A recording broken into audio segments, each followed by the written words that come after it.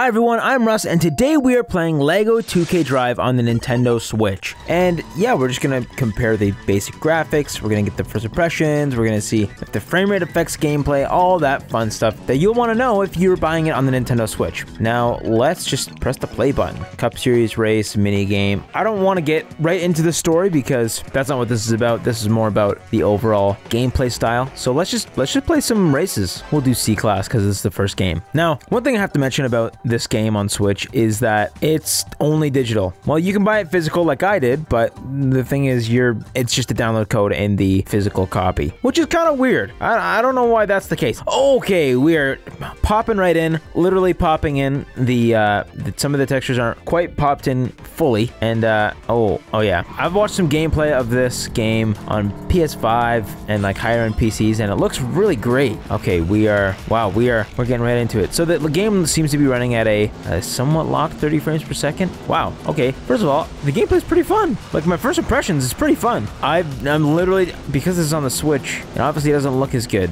Like we don't have nearly nearly the same amount of textures, some minimal lighting details you can tell that there is definitely some dynamic resolution going on when there's a lot's happening, but you know what? I'm, I'm not seeing many frame dips. There's a lot of things that could have just been made frame dips, and uh, yeah, it looks good. Looks to be running pretty smooth. So it's pretty interesting. We're just going back and forth between these cars. It seems like you get power-ups. It's like, I don't know, a Lego version of Mario Kart. Uh, which is exactly what it's trying to achieve. It's more open than Mario Kart, like it's a lot less linear, I guess you could say. But you know what? If I hadn't looked at the other version of the game, I'd say that this looks pretty good. It's running fairly well, like there's no noticeable reason why someone who doesn't care about graphics shouldn't get this. The physics are great. Surprised how well the physics are just kind of smooth. Like obviously the physics are the same on all versions of the game, but I like I like the physics. The the, the wheel suspension on the on the ground when I'm racing is pretty cool. You can tell there's a clear decrease in textures and lighting though. That is very clear. Do I have to do it again or something? Or Big Butte City. Let's go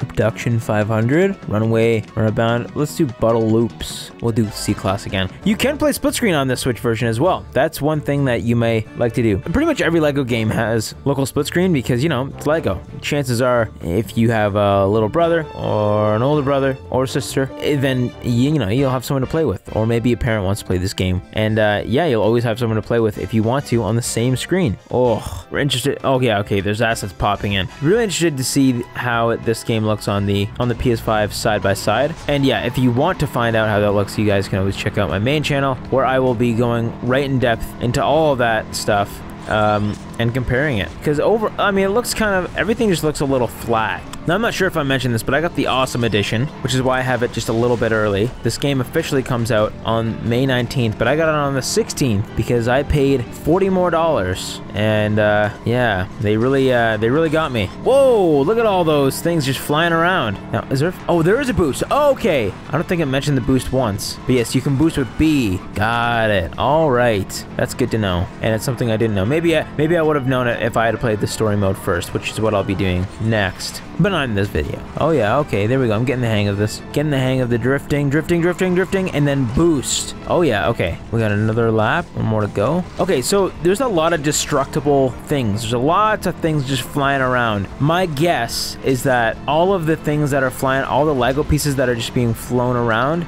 there's probably less being flown around in the Switch version. They probably decrease the amount of things that you can break. But overall, the gameplay style, it's all here. Like, it's all here, supposedly. I mean, obviously, the gameplay mechanics are the same. They're not doing the old brand new game for a lower end portable console. Oh, there we go. So those question blocks are like power-ups. Whoa! First place, baby! And everyone, if you're liking the video so far, make sure you like and subscribe. We are so close to 4,000 hours watch time and not as close to 1,000 subscribers. So let's unlock some of these channel features and also some monetization. That would be epic. But let's do drive-through derby. We will do B class or C class again. Oh yeah, look at look at that. Oh man. E. Oh chicken. Boom. Oh, and, uh, whoa, there's a chicken car and a hot dog car in front of me. Those are pretty sweet. Oh, you can jump. Oh gosh, I didn't even realize you could jump. Man, jumping in racing games must be a thing now. If you guys have seen uh, the the most recent kart racing game that's come out, that's not this, is uh, Disney Speedstorm. They also in included a jumping mechanic in there in in that in that game, and I thought it went worked really well. Oh, I just jumped over a boost pad. That was probably the worst time to jump. But yeah, the jump a jumping mechanic just you know it's not taken advantage of in the big kart racers. I mean, I guess you get a little jump when you drift in like Mario Kart and Crash Team Racing, but not like a fully fledged jump button. What the heck just happened there? Boost pad. There we go. Yeah, there's a lot going on. There's a lot going on, and you know what? It's running pretty smoothly. As I've said, I'm impressed with how smooth it's running. Oh yeah, get bricked. Gotta beat the chicken. Gotta beat the chicken. Oh gosh. Oh, oh. There we go. Come on, come on, come on. Full boost. Yeah. There we go. Oh man, these uh these Lego mechanics. Now we got the menu here. Gameplay controls. There's a few configurations that you can that you can have. Now let's go to the there's a play with friends option. Oh, this is the oh shoot, I shouldn't have clicked that. This is the online mode. I believe you can play with up to six different people online. And look at this. We got a Switch exclusive, the local wireless. Now that is a mode. I'm just gonna go into it just really quick, just to see, you know, if there's anyone in my house that's that's playing it as well. There's not. Anyways, yes, you can play local wireless, which is just something that you don't see in that many games, especially for like a Switch port like this. You don't see, you know, Switch exclusive local wireless play options on the main screen. That's just that's just not right. We also got Unky's Emporium. I don't know what that is. I clicked it. I don't know if I should. Maybe I shouldn't have. Drive Pass. Oh, okay, right, right. So this is the this is the shop. Yes, there are microtransactions in this game. As sad as that is to say, especially considering I literally just paid, you know, $140 for the base game and now I can now I can do like $40 for 3600 coins. What's the average price here? No! This guy is worth over $40 or I guess around $40. What? No way! That is absurd. What in the world is this? Okay, what's the drive pass? The drive Okay, wait, wait. We got some official Lego City carts and official Lego creator carts. Oh, wait a second. Wait, I'm wrong here. I was looking at coins. Okay, so these are coins. These are, I think the, are, these must be in-game dollars. Oh yeah, because I have 72. Okay, sorry guys, I freaked out for no reason. Um, but yeah, there's this is a very similar type of thing we got. We've been we've had going on for things with things like Fortnite. Anyways, then there's also the garage. Let's look into the garage. The screen's been black for literally like three minutes. I think the game crashed. All right, we try again. All right, let's try to open the garage again. There we go. For some reason, it crashed on me last time, or just froze. No, it's gonna happen again? Okay, it's literally happening again. I, I think I literally cannot leave. Oh, this is ridiculous. Okay, my guess is I haven't unlocked the feature because I haven't played story mode. But it doesn't make sense that it's just freezing on me. That is either a bug or I I don't know. So if you have the Switch version, or maybe it's all versions, if you haven't played the story mode or whatever, do that first, I guess. All right, let's play a cup series. We will do the Big Butte County Cup, Class C. Hint, dodge the UFO lasers. Anyways, yeah, sorry I couldn't show the garage. If you, any of you wanted to see the garage on the on the Switch, once again, just check out my main channel, Russ Vandy, and I'm sure I'll have footage of it there if that's what you want to see. Yes, we once again get a ton of popping while it's going over the map. All right, here we go. Starting off, and there's stuff flying all around the stage. All right, I'm getting a hang of this now. Now there are items as well, just like Mario Kart and pretty much every kart racer that exists. Now I like the transform mechanic. That's something we haven't seen in many games, except for you know the biggest one, Mario Kart, is what I'm referencing. Yeah, we got the big boat now. Spider attack. Whoa, that was close. Oh, dodge the UFO lasers. What the heck? Whoa, oh, boost off the top of these. Oh, we got some air. Oh yeah. I don't know what this button does. Oh, what the heck? I guess I teleported somewhere. Teleport to second place? That doesn't seem fair. We got a big boost and a jump. Oh yeah, and splash. And uh, we continue on, we continue on, we continue on. All right, I wouldn't say it's a locked 30, but I would say that it's a consistent 30. Not locked, consistent. Whoa! Like there. Oh, yep, there we go. Like you're seeing it now in the frame rate a little bit, but I mean, it is doing it is doing really well. Taking in the fact that this is on the Switch, an open world racing game, it's not doing bad at all. Whoa, whoa, whoa, whoa, this guy's got a plane he's just driving. Casually driving. All right, hit him with the rockets. Oh, I almost did the first place. All right, the cup continues. Also, something else I wanted to mention is you get a free Lego set if you buy it physical. The Awesome Edition physical, you get it free Lego set. Of course, the game's digital, and you can't return it if you wanted to, especially when you compare it to like you know a PS5 version or the Xbox One S or Series Series Series S or Series X. You can return those versions if you don't like it or you know the game's not as fun as you hoped it was. You know what? The Switch fan base gets a little uh, gets a little gets a little played if they want to resell their physical game. Chances are this game's going to be on sale fairly soon. If I know anything about Lego games, Lego licensed games, even 2K games, they will go on sale often. Like the fact that I paid 120 Canadian dollars for this today kind of makes me a little bit sad because I know that it's going to go on sale this month probably. Like it's honestly insane how fast these type of games go on sale. Oh, there's a spider thing on me. It's kind of like Mario plus Rabbids. You guys know anything about Mario plus Rabbids? It's like $120 for the gold edition, and like in a month, that game went on sale because it's a Ubisoft game, really. Anyways, with Mario plus Rabbids, it went on sale very often, more than any other Mario game ever. Because Nintendo games don't generally go on sale, they very rarely go on sale. But Lego games and Ubisoft games and all those all those fun types, pretty much every other game company puts their games on sale very often, and this is definitely no exception. So I probably wouldn't recommend getting any version of this game day one because it'll be on sale very soon, especially not the like intense collector's editions unless you're really into this game and you know you're gonna love it. Like if you're loving what you're seeing now, that's great, get it. If you're craving for a driving game like this and you love Lego, go ahead, get it. If you just want to burn $120, you could probably burn it on another. Whoa, whoa, whoa!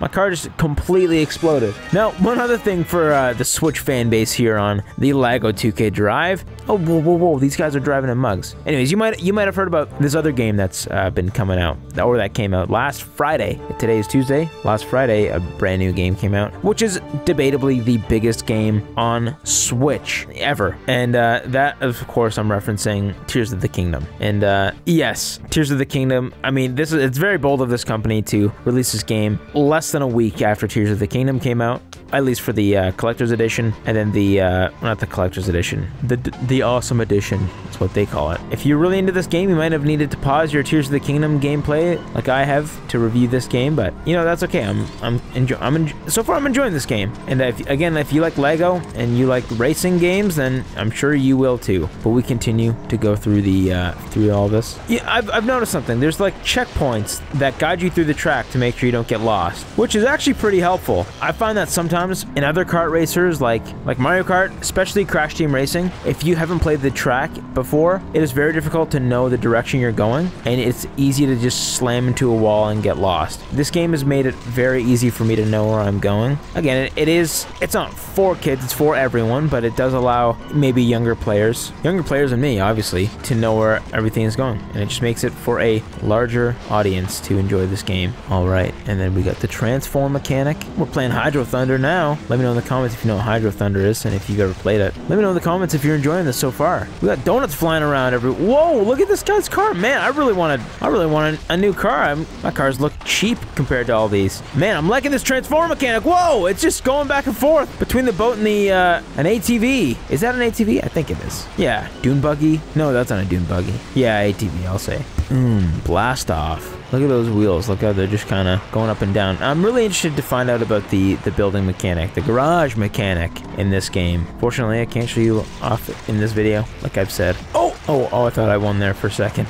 That was a close one. Splash. There we go. Let's go. Yeah. I did it, I. Hint, only pros can make it through the car wash shortcut. Oh man, look at airport big butt. Such funny joke. oh, so funny. The Lego Company games are so silly. Oh wow. Yeah, the, everything just kind of flies when the when the game starts. We boosty woosty. Look at this. I like the I like how it just is like kind of like a whoa whoa whoa whoa whoa. Okay, there's lots going on. Okay, all right. Whoa whoa. I know I'm saying whoa a lot, but like, come on. Yeah, all right, I'm getting the hang of this. All these, all this good old drifting. Of course, I'm only in Class C, but, and I'm barely winning in Class C, but at least I'm feeling like I'm achieving something. What is going on? What? I'm not really sure what the ghost is. I think that just means I can't get hit by anyone and get thrown off by the momentum. Whoa. Yeah, I think this game would be a lot of fun if it looked good. I mean, it looks, it looks good. Again, if you don't care for graphics, this looks amazing, but I do. I do care for graphics. My car's just kind of getting rebuilt. Yeah, it would be really fun to play play this game on the PS5, just because I think it'd really sell the experience more. Now, the frame rate is 30, which in the uh, in the gaming industry or the gaming not the gaming industry, the racing gaming industry uh, could be preferred for some of you. Some people like 30 frames per second. Some people genuinely like 30 frames per second for racing games because it makes the game feel faster in some cases. The response time might be a little, uh, maybe a little different. I mean, not really noticeably different, especially if you're playing just casually like I am. But uh, yeah, some people like playing 30 frames per second in racing games. And some racing games, like Crash Team Racing, on all versions of the game, uh, make the stylistic choice to have 30 frames per second on all versions of the game, even if they're able to do, even if they're able to do 60, because they think it looks makes the game look cool. They, they think the aesthetic looks cool in, in 30 frames per second. And uh, the way that Disney Speedstorm covered up the lower frame rate was a very good use of motion blur. Now, I'm not seeing much motion blur on this game at all, actually. I wonder if there's a graphic settings I could change. Oh, that's it. Did I win? What the heck is going on here? Is it glitched? I think it's glitched right now. No one's even on the podium. I guess there's a few kinks they still gotta fig figure out for this game. Quickly looking at the uh, video settings. Oh, motion blur is on. There is a motion blur setting, which is on. Okay, never mind about the. I mean, the motion. I mean, the motion blur just you know could be better, I guess. I didn't notice it that well. Anyways, that's gonna be it for Lego 2K Drive today. Those were a fun few rounds. I'm going to continue to play this game pretty much all day and then write my review. And make sure you stay tuned to my main channel where you can see if this game is best on Switch. And if you haven't already, please consider liking and subscribing. It would really help me out. And uh, let me know if you're going to get this game on day one, or maybe you're going to wait for sale, or uh, maybe you're not interested in, in this game at all. Once again, thank you for watching. I hope to see you in the next one. See you later.